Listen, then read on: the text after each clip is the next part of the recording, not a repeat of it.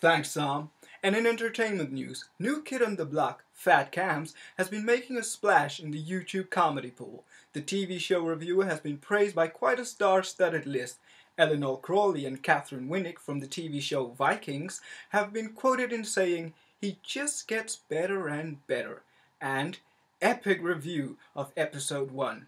The handsome comedian also has a Mr. George Blagden from the TV show Vikings in his YouTube subscription list.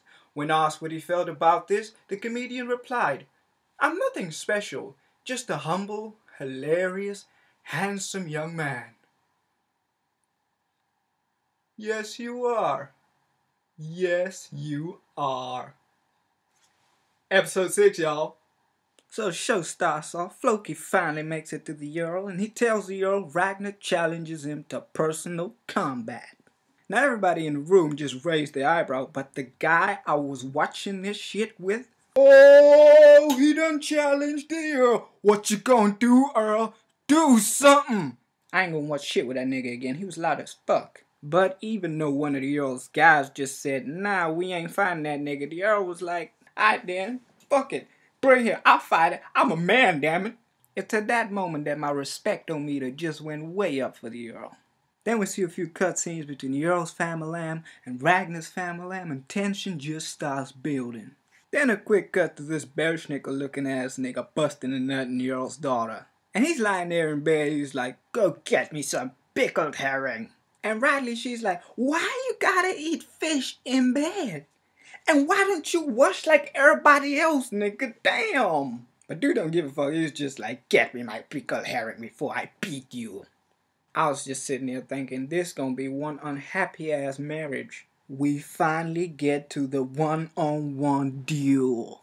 And in the red corner, weighing at something something pounds, old as fuck, Earl Haraldson. And in the blue corner, weighing at something something pounds, disabled as fuck.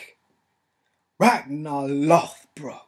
Both of them just standing there oozing badassness. The Earl throws his shield. Ragnar throws his shield. Everybody just got but one shield. Finally, these motherfuckers just fighting, dodging, hitting.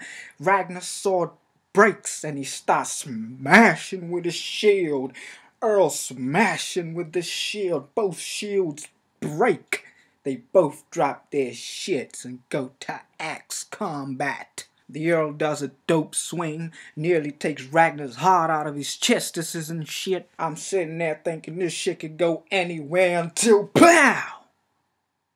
Axe to the back. Crow then flies in, just waiting to snatch one of these niggas' souls. Ragnar walks up to the Earl lying on the ground, and both of them know somebody's gotta die. Ragnar puts his axe to the Earl's wrist.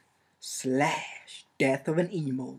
I'm like 90% sure that won't offend anybody. Yeah, definitely. 70% sure. And just as my excitement levels are going down, POW!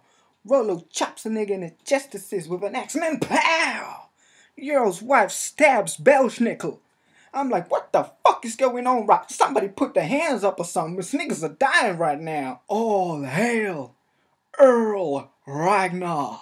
Started, started from the bottom. Now I'm Earl. Everybody in the crowd shouting, sit down, Ragnar. Oh, don't he look nice in that chair? I amuse myself way too much. What else?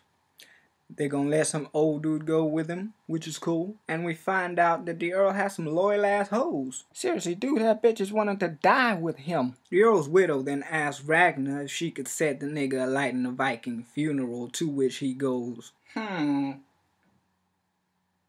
Nah, bitch. Which was kinda cold. Lagertha then tells the dude he's daddy again. We then find out what Ragnarok is. Scary shit. We didn't get the final bit of the show when the King of England is there throwing the coward motherfucker in a snake pit. Badass. Thanks for watching. Like and subscribe. It was me the whole time.